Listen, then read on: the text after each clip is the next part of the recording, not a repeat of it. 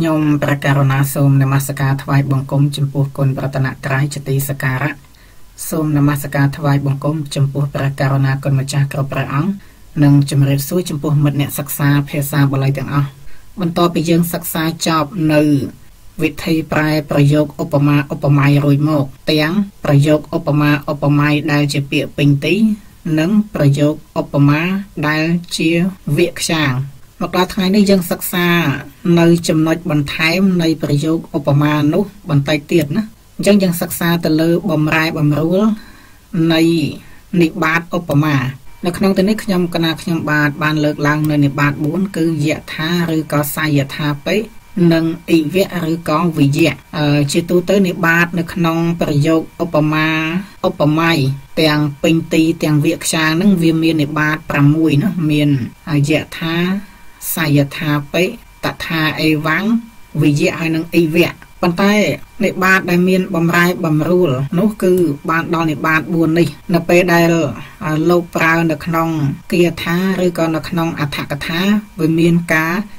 ប្រែប្រួលតួនាទីគ្នាណាគឺប្រែប្រួលយ៉ាងម៉េចយើងមើលជាបន្តទៅទៀតថាប្រយោគឧបមា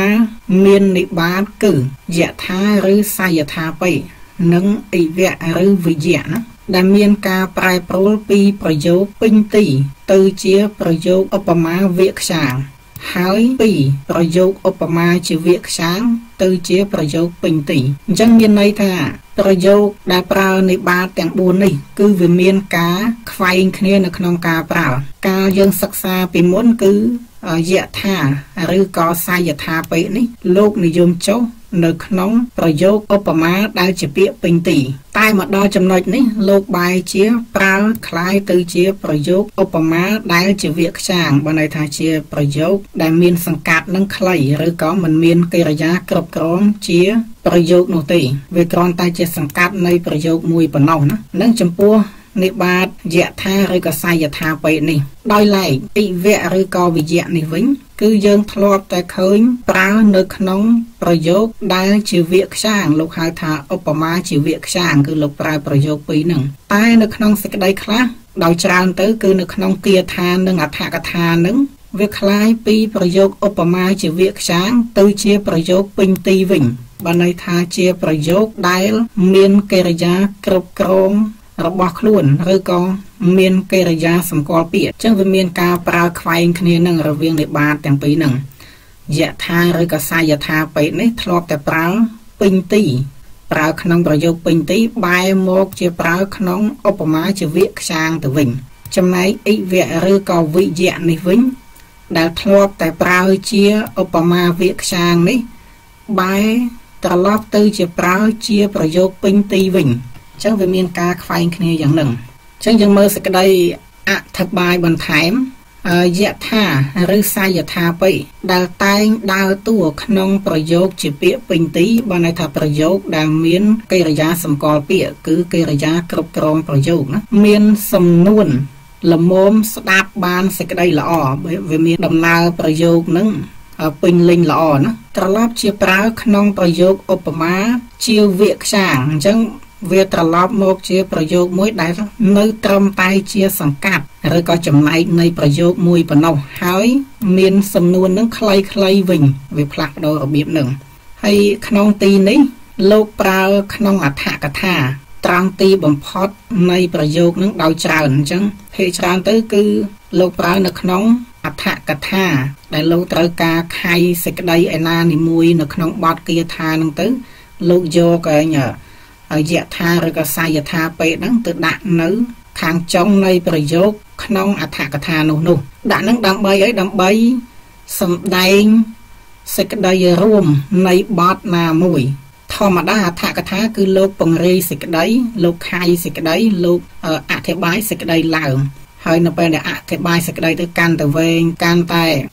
មានការច្រើនទៅដូច្នេះលោកត្រូវការបង្រួមសេចក្តីនឹងឲ្យ មកនៅក្នុងបទមួយអញ្ចឹង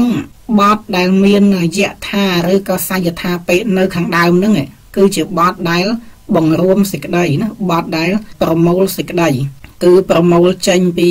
អត្ថកថានេះសម្រាប់មករួមនៅក្នុង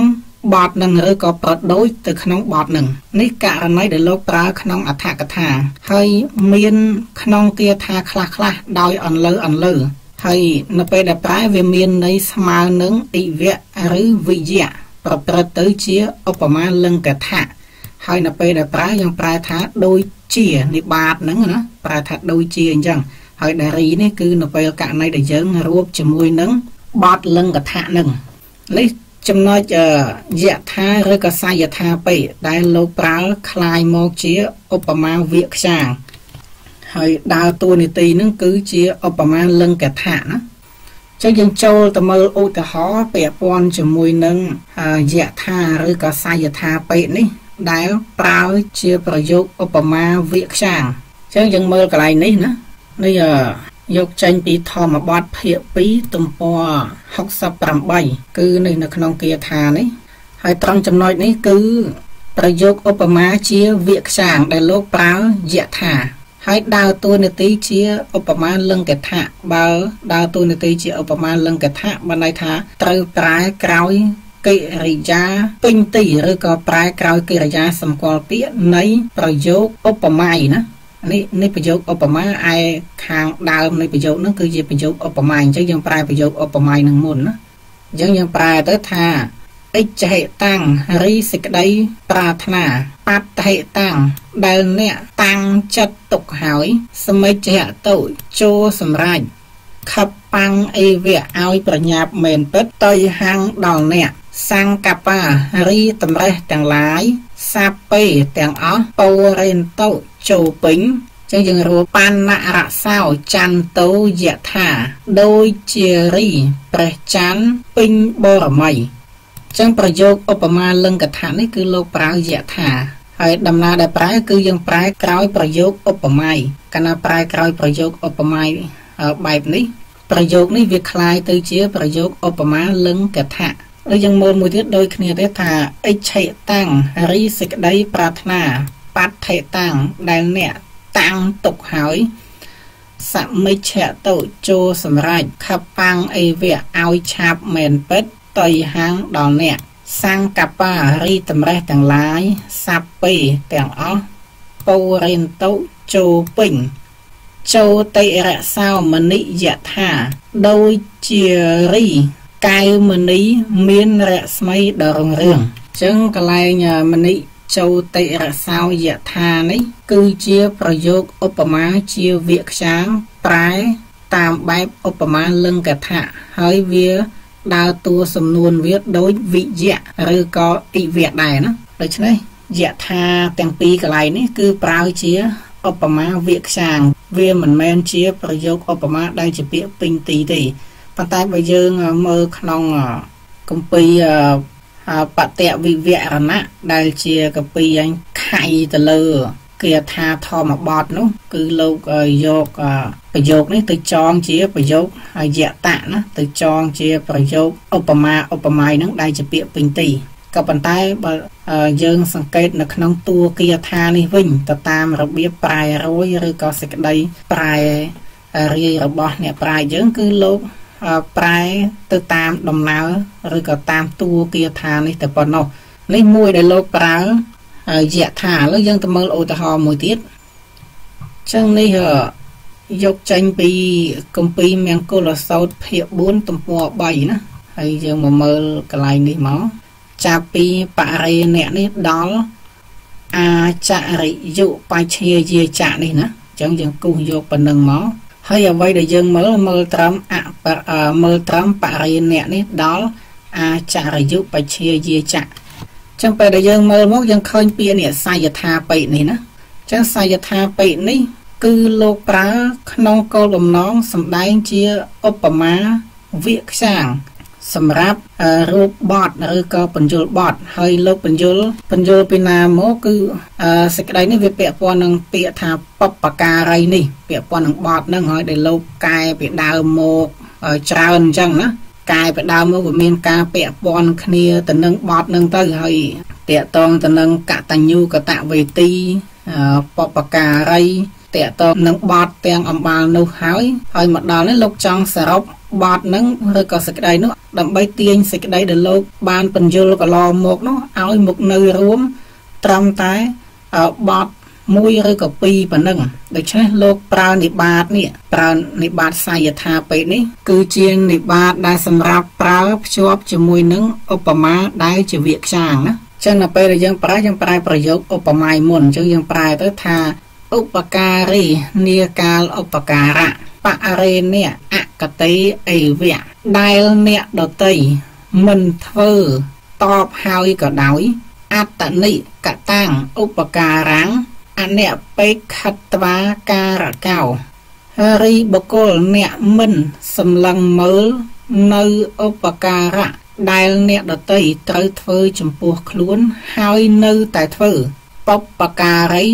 ឈ្មោះថាបបការីសាយថាបិសំដូចជាមេតាបិតរោចៈអេវៈរីមេដានិងបៃតាផងមែនពិតអាចរយុបជាយេចៈរី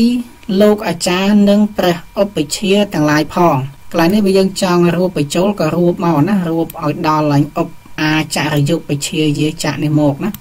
តែបើយើងចង់ប្រែដៃក៏ប្រែទៅ ដូច្នេះចាប់ពីអាសយថាពេនេះមកដល់អាចរិយុបជាយាចៈនេះគឺជាប្រយោគឧបមាជាវាខ្ចាងដែលលោកប្រើសយថាពេនេះ សម្រាប់ទាញរូបសេចក្តីដែលលោកអធិប្បាយតាំងពីដើមកន្លងមកលោករំគេសេចក្តី អឺទាំងក្នុងគាថាផង ទាំងក្នុងអដ្ឋកថានឹងផងមករួមបញ្ចូលគ្នាឲ្យដឹងថាតើជនជាបបការីនឹងគឺលោកចង់បញ្យល់ចង់និយាយមកលើនរណា មានគុណសម្បត្តិយ៉ាងម៉េចគឺលោកបានបដូចមកលើបទទាំងអស់នេះណាកន្លែងហ្នឹងហៅថា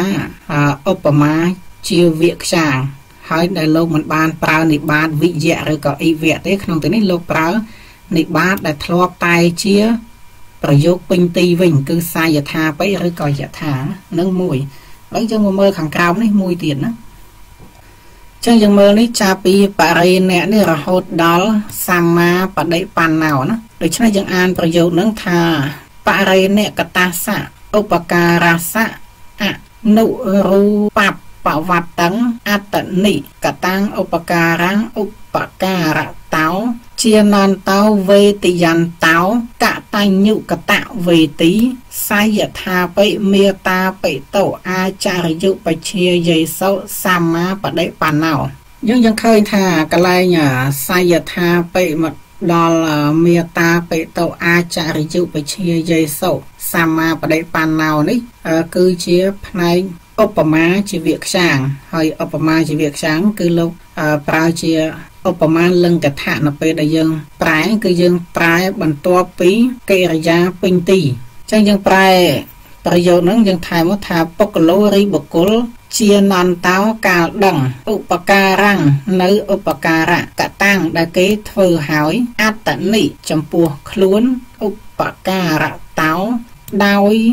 ហេតុថាជាឧបការៈវេតិយន្តោវេតិយន្តោកាលធ្វើតបអញ្ចឹងយើងថែមបញ្ចូលមកពីលើនេះថា តាំងឧបការังនៅឧបការៈនោះអនុរូបបវត្តੰឲ្យប្រព្រឹត្តទៅដល់សមគួរឧបការៈសៈដល់ឧបការៈបរិណកតាសៈដែលអ្នកដតីបានធ្វើហើយកតញ្ញុកតវេទី ឈ្មោះថាកតញ្ញុកតវេទីសាយថាបិសំដូចជាមេតាបិតោអាចារយុបជាយេសោសម្មាបដិបណ្ណោបុគ្គលូរីបុគ្គលដែលប្រតិបត្តិល្អហើយចំពោះមេដានិងបៃតានិងគ្រូអាចារ្យនិងព្រះឧបជាទាំងឡាយដូច្នេះកន្លែងនេះគឺជា ឧបមាលង្កថាដែលលោកប្រើនិបាតនេះគឺសាយថាបិហើយបើយើងចង់រូបក៏អានរូបមកទាំងអស់នឹងមកអឺនេះចំពោះឧទាហរណ៍ដែលលោកប្រើយៈថាឬក៏សាយថាបិជាឧបមាវិខ្ចាឥឡូវយើងត្រឡប់មកមើលអិវៈឬវិយៈដែលតែងដើរតួក្នុងប្រយោគឧបមាជាវិខ្ចាងមានសំនួនខ្លីៗ តែត្រឡប់ជាប្រើក្នុងប្រយោគឧបមាជាពាក្យពេញទីដែលមានសំនួនសេចក្តីវែងវែងវិញបានដូច្នេះកាលដែលយើងសិក្សាកន្លងមកយើងឃើញថាអិវៈឬក៏វិយៈនេះវាប្រើតែជាឧបមាវាខ្ចាងទេបើន័យថាជាប្រភេទប្រយោគដែលអាស្រ័យនឹងប្រយោគផ្សេងណា ប៉ុន្តែមកដល់សេចក្តីដែលយើងសិក្សាបន្ថែមនេះវាបែរជាដើរតួជាប្រយោគពេញទីនឹងបានណាដូច្នេះអិវៈឬវិយៈក្នុងទីនេះ លោកប្រើក្នុងគាថាហើយត្រូវបានខៃពន្យល់ដោយអត្ថកថា ដែលមានន័យស្មើនឹងសាយថាបិឬយថាដែរណាហើយហើយតោងប្រែថាយ៉ាងណាឬយ៉ាងណាមិនឬក៏ប្រែរូបបានដល់ប្រយោគឧបមាឧបមាដែលជាពាក្យពេញទីផ្នែកប្រែទទួលនោះចឹងនិបាតទាំង4នេះគឺវាមានការប្រើឆ្លាស់គ្នារបៀបនឹងណាបានជាខ្ញុំកណាខ្ញុំបាទហ្នឹងនាំសេចក្តីហ្នឹងមកបន្ថែមឲ្យដឹងថា យថានេះឬក៏សាយថាបេនេះវាមិនសិតសង់តែប្រើក្នុងប្រយោគពេញទីរហូតនោះទេណាចំណែកអិវៈឬវិយៈនេះក៏ដូច្នោះដែរដោយច្រើនទៅ គឺវាប្រើជាប្រយោគឧបមាវាខ្ចាងតែវាមិនមែននៅអញ្ចឹងរហូតនោះទេ គឺវា មានការប្រែប្រួលមកប្រើជាឧបមាពេញទីដែរប្រយោគឧបមាដែលជាពាក្យពេញទីហ្នឹងបានន័យថាជាប្រយោគមួយដែលមានសំនួនសេចក្តីហ្នឹង វែងលមមស្ដាប់បាន ហើយមានកិរិយាសម្គាល់ពាក្យហ្នឹងគ្រប់គ្រងនៅក្នុងហ្នឹងហើយអ៊ីវៈឬក៏វិយៈនេះទៀតសោតគឺលោកប្រើ នៅក្នុងគាថា នៅក្នុងគាថាគឺលោកប្រើនិបាតទាំងអស់ហ្នឹងក៏ប៉ុន្តែនៅពេលដែលអដ្ឋកថាលោកកែលោកបញ្យលគឺយើងឃើញថាលោកកែឲ្យមានតម្លៃស្មើនឹងនិបាតទាំងពីរនេះអញ្ចឹងយើងមើលកន្លែងចំណុចនេះណាគាថានេះ ចឹងលោកថាវាសិកាវិយៈបបហានិមជ្ជវានីបមញ្ចតិអញ្ចឹងកន្លែងនេះមិនមែនបមាញ់ណាគឺបមញ្ញណាមានមានសអុណាអេវាងរាកញ្ចៈតោសញ្ចៈវបមញ្ចេថភិក្ខវោមិនមែនភក្ខវោគឺភិក្ខវោណា ចឹងយើងឃើញកន្លែងនេះគឺឃើញឲ្យឃើញវិយៈណាហើយមកដល់កន្លែងនេះយើងឃើញអេវ៉ាន់ដូច្នេះយើងឃើញប្រយោគហ្នឹងហាក់វាហាក់ដូចជាខ្វែងគ្នាបន្តិចដោយសារថាធ្លាប់ឃើញថាប្រើតែយៈថាអញ្ចឹងអញ្ចឹងដូចបានបញ្ជាក់ឲ្យថាវាមានការប្រែប្រួលនៃនិបាតនឹងដោយយើងមកមើលអត្ថកថាដែលលោកអធិប្បាយនេះនៅពេលដែលយើងមកមើលអត្ថកថាទើបយើងដឹងថាអូការពិតវិយៈនេះវាស្មើនឹងឯងយៈថា អញ្ចឹងបើន័យថាប្រែទៅចេញថាយ៉ាងណាណាឬក៏យ៉ាងណាមិញអញ្ចឹងទៅអញ្ចឹងយើងសម្លឹងមើលឃើញថាវិយៈហើយនឹងយៈថានេះគឺវាស្មើគ្នាហើយលោកកែគឺលោករៀបចំតម្រង់ប្រយោគនឹងអធិប្បាយមកមានលំនាំប្រហាក់ប្រហែលគ្នានឹងសេចក្តីគាថានឹងណាយើងមើលចាប់ពីយៈថានេះរហូតមកដល់អេវាងនេះឃើញហើយណាគឺលំអាននៃសេចក្តីនឹងមិនជាខុសគ្នាប៉ុន្មានទេដូច្នេះអ្វីដែលខ្ញុំកណាខ្ញុំបាទចង់និយាយនៅក្នុងទីនេះ គឺផ្ដោតទៅលើវិយៈនេះដែលមានន័យស្មើនឹងយៈថាចឹងអឺដែលយើងប្រែយើងប្រែទៅក្នុងគាថានេះទៅបានហើយហើយចំពោះដែលលោកខៃទៅយ៉ាងម៉េចយ៉ាងម៉េចនោះគឺយើងមើលក្នុងលំអានអត្ថកថាអញ្ចឹងដល់យើងប្រែយើងប្រែទៅត្រឹមតែតម្រង់គាថានេះទៅបានហើយហើយក្នុងទីនេះដោយសារថានៅក្នុងប្រយោគចាប់ពីវាសិកាមកដល់ប្រមញ្ចតិនេះវាអត់មាននិបាតមានអីពាក់ព័ន្ធទេអញ្ចឹងគឺយើងចាប់ផ្ដើមប្រែទទួលទៅហើយ ហើយការប្រែទទួលគឺយើងប្រែខាងប្រយោគឧបមានឹងមុនណាអញ្ចឹងយើងប្រែទៅថាភិក្ខវោមនាលភិក្ខុទាំងឡាយអញ្ចឹងយើងថែមកថាតុមហេរីអ្នកទាំងឡាយវឹបបមញ្ចេថាចូលលះបងចោលរាកៀងចៈនៅតម្រេកផងតោសាំងចៈនៅតោសផងអញ្ចឹងយើងរួបថាអញ្ចឹងយើងយកវិយៈនឹងដាក់ខាងដើមមកថាវិយៈវាសិកា មច្ចវានិបបហានិបមញ្ចតិអេវាំងដូចជារីកាមលិរមែងជំរុះចោល នៅផ្កាដែលស្វិតស្រពោនទាំងឡាយដូច្នោះនេះគឺយើងប្រែទទួលណាគឺយើងប្រែខាងប្រយោគឧបមានឹងមុនបន្តមកបានយើងតែប្រែខាងប្រយោគឧបមាហើយបើយើងចង់ប្រែមិនទទួលក៏បានប្រែមិនទទួលគឺយើងប្រែខាងប្រយោគនេះមុនមក អញ្ចឹងយើងប្រែមិនទទួលនឹងវិញម្ដងណាយើងប្រើលក្ខណៈសិនមកថាភិក្ខវោមនាលភិក្ខុទាំងឡាយវាសិការីផ្កាមលិបមញ្ចតិតែងជំរុះចោលបបុបហានិនៅផ្កាទាំងឡាយមជ្ឈវានិដែលស្វិតស្រពោនវិយៈយ៉ាងណាថែមប្រធានមកថាតុមហេរីអ្នកទាំងឡាយវបមញ្ញចេថាចូលលះបងចោល រាគៀងចៈនៅរាគៈផងតោសង្ចៈនៅតោសៈផងអេវ៉ាំងយ៉ាងនោះនេះគឺយើងប្រែមិនទទួលហើយវិយៈនេះគឺយើងប្រែចេញថាយ៉ាងណាឬយ៉ាងណាមិញណា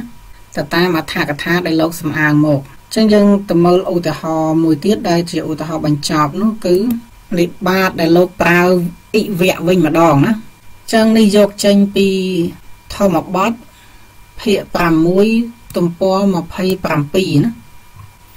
ចឹងយើងមើលគាថានេះណាគាថាកន្លែងហ្នឹងចឹងយើងអានគាថានឹងសិនថាអត្តនាហិកតាំងបាបាំងអត្តជាងអត្តសម្ភវាំងអភិមត្ថតិទុំមេតហាំងវចិរាំងវមហយ៉ាងមនឹងដូច្នេះយើងមើលគាថានឹងទៅយើងឃើញថាលោកប្រើ និបាតប្រភេទនឹងអាចឲ្យច្រឡំថាស្ថិតនៅក្នុង ប្រយោគឧបមាដែលជាវាខ្យាងក៏ប៉ុន្តែបើយើងមកមើលអត្ថកថាវិញណាមកមើលអត្ថកថាគឺលោកយកបទមួយបាតនេះណាបទមួយបាតនេះលោកមកកែមិនលោកកែចេញមកមានយថាណាហើយមានសាបដែលជាវេវចនៈគ្នានៅក្នុងនឹងរហូតមកដល់កលែងការោតៃអីនេះ ហើយមានអីវាងដែលជាប្រយោគឧបមានឹងរហូតមកដល់ចុងបញ្ចប់នៃអត្ថកថាឯនេះទៀតណាចឹងក្រោយពីយើងពិនិត្យមើលទៅដឹងថា នៅក្នុងគាថានេះលោកប្រើអិវៈនៅក្នុងគោលបំណងជាប្រយោគពេញទីណាបើន័យថាជាប្រយោគដែលមានកិរិយាសម្គាល់ពាក្យ ចឹងនៅពេលដែលយើងប្រែគឺយើងចាប់ផ្ដើមប្រែកន្លែងហ្នឹងឲ្យប្រែមុនគេណាឬក៏ចាំប្រែរូបក៏បានដែរបើប្រែរូបបើន័យថាហើយយើងប្រែទទួលណាចឹងបើយើងប្រែទទួលគឺយើងប្រែខាងប្រយោគឧបមានេះមុនមកណាប្រែពីអត្តនានឹងមកដល់ទុមេធាំងនេះមកចឹងយើងចាប់ផ្ដើមប្រែប្រយោគនឹងទៅក្នុងទីនេះខ្ញុំកណាខ្ញុំបាទប្រែមិនទទួលណាប្រែមិនទទួលគឺយើងប្រែខាងប្រយោគឧបមានឹងមុន ហើយចុងក្រោយទៅយើងប្រែប្រយោគឧបមាហើយយើងប្រែយើងថែមនិងពិនិត្យមើលទៅតាមលំអានអត្ថកថានេះទៅហើយក្នុងទីនេះយើងថែមដោយអន្លើអន្លើណាអញ្ចឹងយើងប្រែថាវៈចិរាំងរីពេជ្រខាតតិតែងស៊ីទម្លុះឬក៏ខាយទម្លុះមៈនឹងនៅកែវមនីអមហយ៉ាងដែលកើតចេញអំពីថ្មអិវៈយ៉ាងណា ហេមែនពិតបាបាំងរីអំពើបាបអត្តនាកតាំងដែលខ្លួនធ្វើហើយអត្រជាងកើតអំពីខ្លួនអត្តសម្ភវាំងមានខ្លួនជាដែនកើតអភ័យមត្ថតិតែងក្របសង្កត់ទុំមេទាំងនៅបុគ្គលគ្មានប្រាជ្ញាថែមកថាអេវ៉ាំងយ៉ាងនោះអញ្ចឹងនៅក្នុងគាថានេះកន្លែង ប្រយោគឧបមានេះគឺលោកប្រើតិវៈដែលមានន័យស្មើគ្នានឹងយថាឬក៏សាយថាពេកណាដូច្នេះការសិក្សាទៅលើចំណុចបន្ថែម ដែលបំរែបំរួលនៃនិបាតទាំង4នោះ មានប្រមាណប៉ុណ្ណេះណាតោងកំណត់ចំណាំ តាមអ្វីដែលខ្ញុំកណាខ្ញុំបាទបាន លើកឡើងនោះទៅនឹងបានយល់អំពីនិបាតទាំងអស់នោះក៏ដូចជាលក្ខណៈ ប្រើបន្ថែម ទៅលើ ប្រយោគទាំងអស់នោះណាដូច្នេះចង់បញ្ចប់នេះខ្ញុំគណៈខ្ញុំបាទសូមនមស្ការលាសូមជម្រាបលានិងអរគុណច្រើន